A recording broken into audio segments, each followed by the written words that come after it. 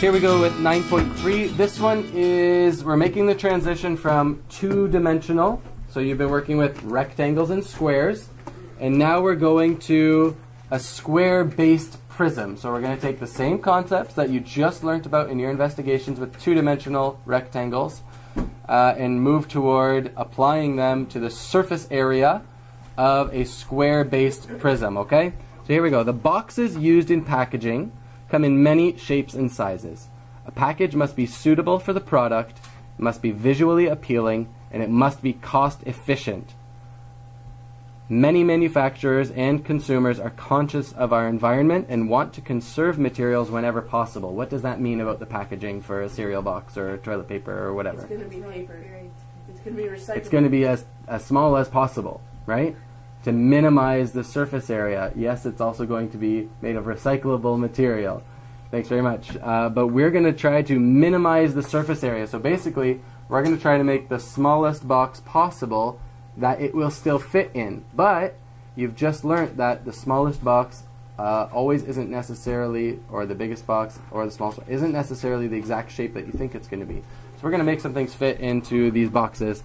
Uh, and I'm just going to give you some notes in that little gap. So we needed to make a little connection between what we did uh, with our rectangles and what we're going to do now, okay? So connection. Above 9.3 or uh, uh, in the gap that you have in your worksheet. A rectangle with a given area, so that means the area isn't going to change, but you need to determine the perimeter. A rectangle with a given area has a minimum perimeter when it is a square. You figured that out in lesson one for this unit, nine point, or the whatever one we, yeah, yeah, yeah, lesson one, I think. Okay? The same concept applies when working with 3D objects. So, what three-dimensional, which type of square-based prism is going to get you the greatest volume with the least surface area? A pyramid. Square-based prism. A pyramid is not a prism. So, mm-hmm. square-based prism is something that looks Or a like rectangular prism? Is this one going to be the best option? yes. Or is something like this going to be the best option? Or Yes. something like this going to be the best option? Well, uh, doesn't it all depend on the packaging? I think the first one because that looks like a Okay, cereal box. so listen. No matter what I'm packaging, look at the look at what we're saying with a given area. Okay, so what I'm saying is that the cereal that I need to pack, it's going to fit perfectly in this box. It's going to fit perfectly in this box. It's going to fit perfectly in this box. I want to choose the option that's going to use the least amount of cardboard. Square. Why do you think it's a square? Because I drew it small by accident. No, I Why think the square? that last, 'cause it's all equal. Remember, it But they says also gotta worry about packaging too when they pick a cereal box. like what it looks like. No, yeah, and how to pack it up nice and tight. Well, I just explained to you that everything that I need to pack will fit perfectly in this. The same amount will fit perfectly in this, and the same I'd amount rather will fit perfectly in that this. one than that last Okay. one though. The square. Super tall. Okay, cereal pause. Read this, please. Read this sentence. They all are equal. Nope, they're not. Yeah, The and that long one. square. They're to put in your cupboard.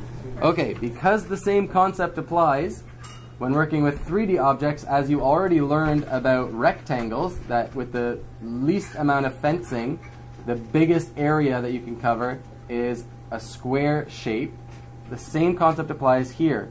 The, if the volume is set, the same amount of cereal in each box, it's all tightly fitting, you're going to use the least amount of cardboard for your box if you use the square.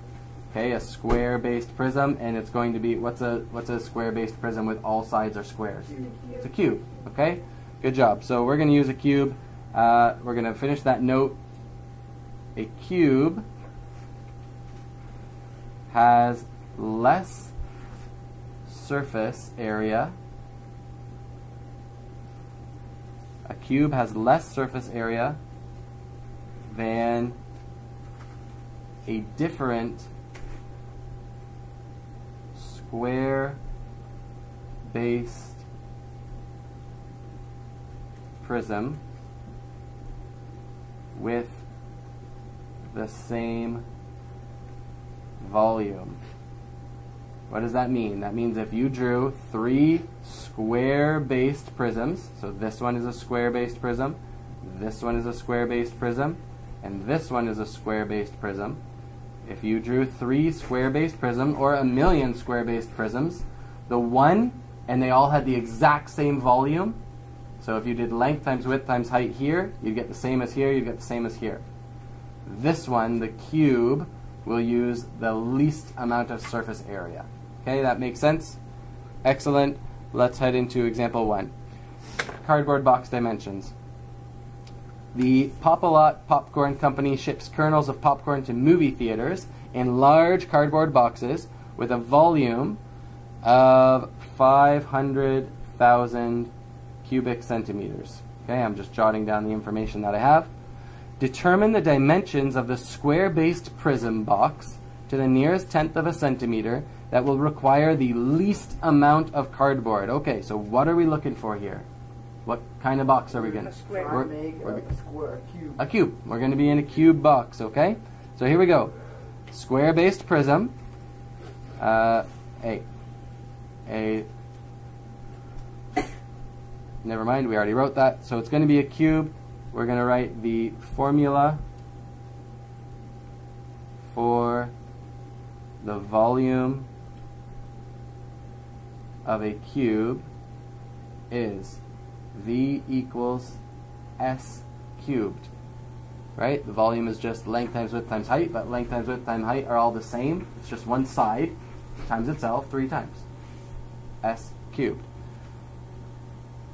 Where S is the side of the cube. Does it matter which side I take for S? No. Nope, they're all the same. Good. So, sub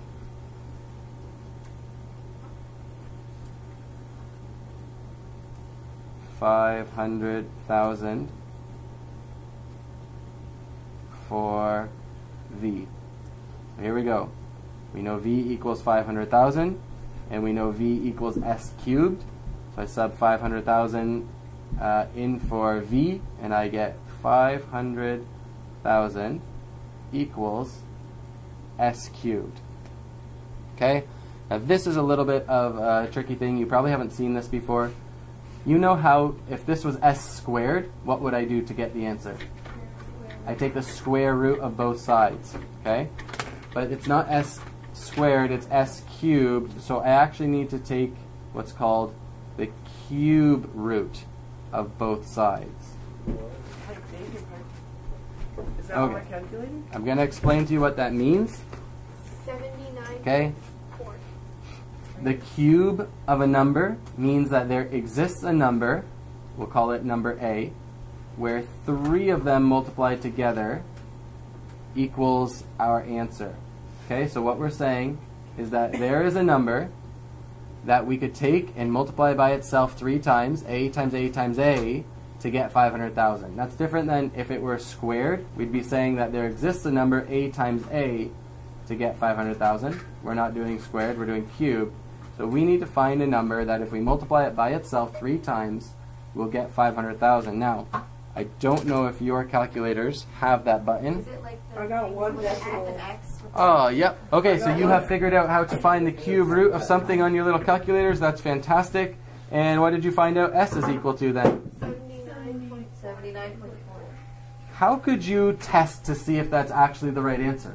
Five times it multiply it by three. three. Just use your calculator, hit 79, not, No. don't multiply it by 3. That will not, Multiply by by itself, seven. 3 times. So go 79.4 times 79.4 times 79.4, enter. 500,000. Good job. Okay, and you'll get 500,000.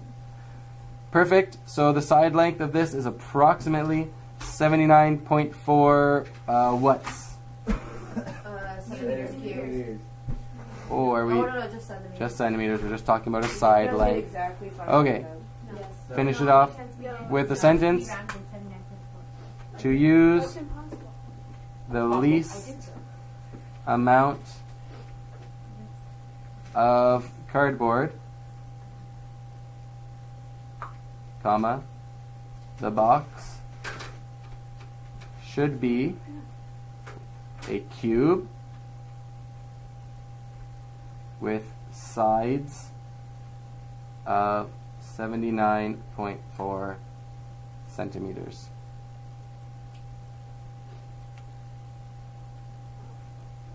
B.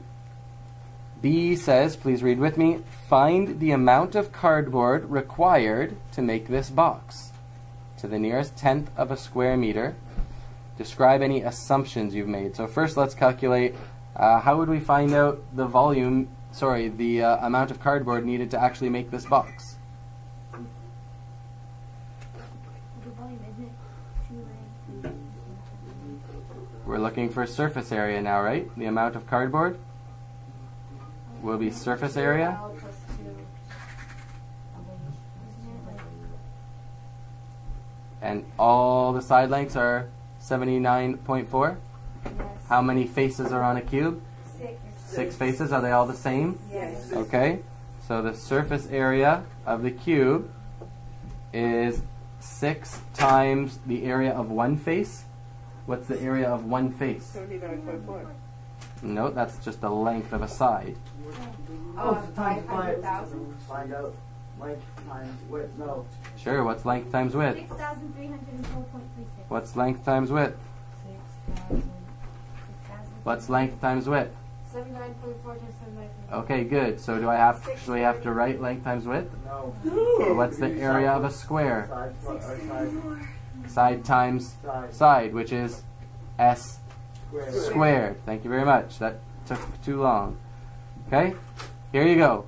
Surface area of a cube is 6 times the area of one face. The area of the face is just side squared.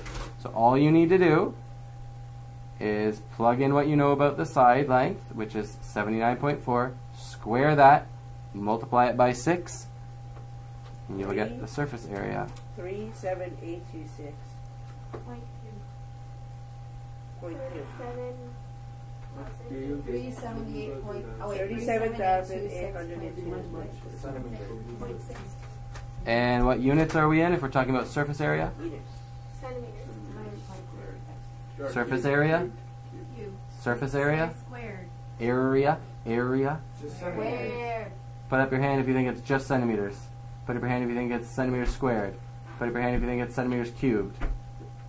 Put up your hand if you didn't put up your hand earlier. It's it's squared because I, I remember. Area. Area is always squared. Okay? It's uh it's two dimensional. So it's gonna have second degree. Okay, dimensional cube? did we answer the question? Read the question again and see if we answered it. We figured out the surface area of the cube, not how much cardboard.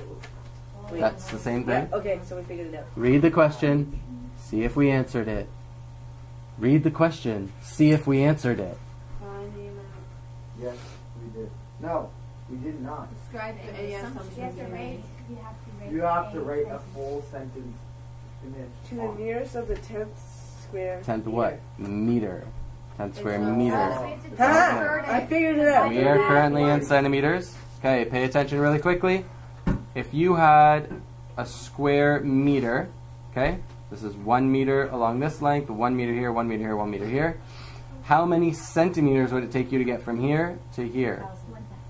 From here to here. How many centimeters are in one meter? No, there's not. There's a hundred centimeters in a meter. Okay, how many centimeters in this meter? 100. So if we were to divide this thing up into all of its grid of centimeters, how many cubic centimeters, sorry, how many square centimeters would be in here? How do you find out area? Ten to a hundred times a hundred. 100 times 100? 10,000 square centimeters equals 1 square meter. Okay, so that means we need to take our surface area 3.8 meters. of 38,000 and divide it by 1,000, sorry, 10,000. Divide it by 10,000 Three point eight. and you get 3.8 meters squared. Okay? Ah, It would take, sentence, it would take 3.8 meters squared of cardboard to make this box.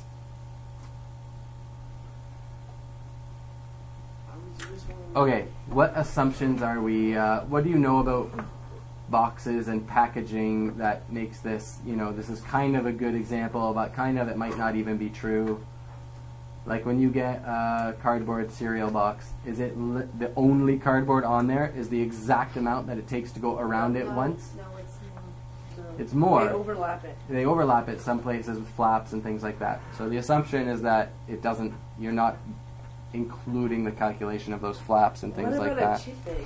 'Cause Okay.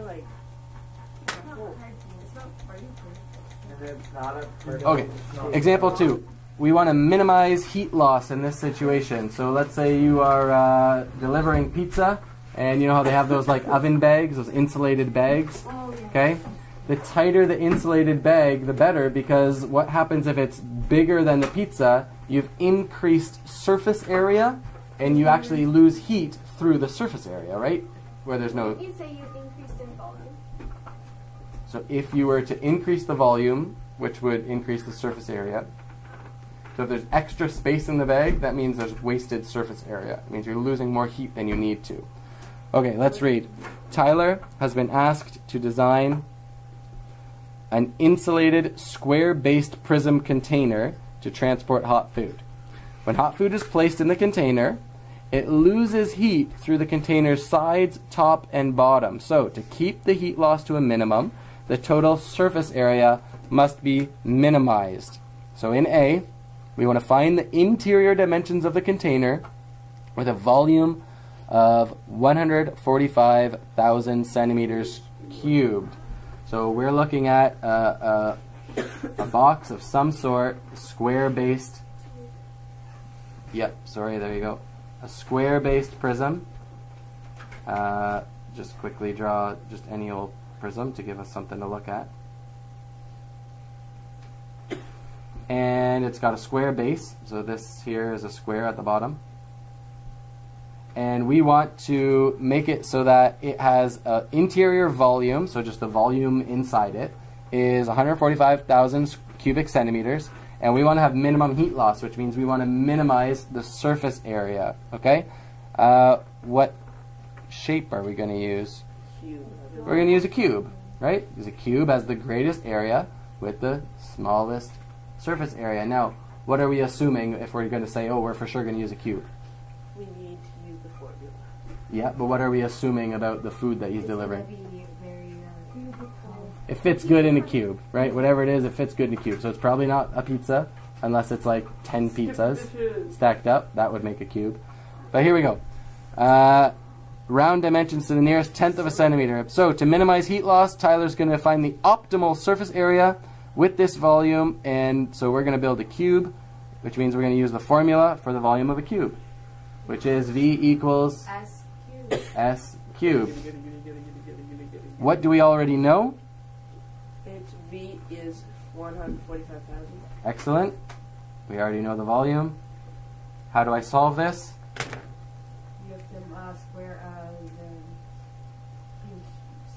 square. Cube root. Everyone say cube root. cube. Excellent. Okay?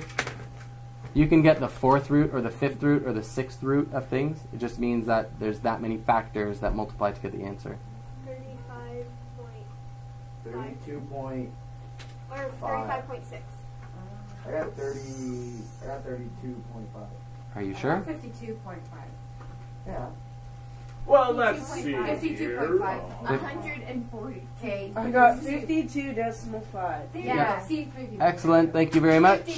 52.5 centimeters, and it's a side length, so it's just one degree. Another way to think about this, guys, how I knew that it goes from centimeters cubed down to just centimeters is, rid of it. is well, you actually are taking the cube root of the units as well. So if you took the cube root of centimeter cubed, you'd just have centimeter. Okay? Good. So to minimize heat loss, the container, the container should be a cube. Notice how in all my answers I'm writing a cube with side length 52 and a half centimeters. Wouldn't that be actually like a decently sized container? 52 centimeters is more than half a meter, yep. So you like that.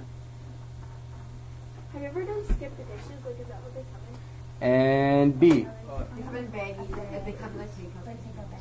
Let's finish up here, guys. What other factors might Tyler consider? So what else should he think about? The food that he's transporting. Okay, so a container should be container should be same shape as food. Vacuum sealer. nice. Okay, let's not get into how he could make it better that way, but how else could he make it better just by thinking about the shape of something? Like he's delivering food. What else does he need to think A about? smaller surface area. So that's what he's done with the His cube. Okay, so there's No, no, another no. thing kind of Oh, like oh, vacuum sealing. Oh, it has to be like stackable so that Mm. you can. Stackable. Yeah, Stackable. Like, don't know how to because the smaller the smaller the container, the more you can transport. You must be able to So- contain food. What about like easy to carry? And sturdy enough so if you have it like on your Sturdy. surfboard, it won't fall over. Yeah. Easy to carry, sturdy, like as in balance. Yeah. Yeah, so like a shorter, flatter thing would be less likely to spill than a cube. But you gotta keep As it it has been box, always, like you put something on the ground, it can Not necessarily. You put something on the ground, what? All right, you've done very well. Uh, it also needs to be his packaging needs to be visually appealing, right? Not really. I mean, McDonald's has Good.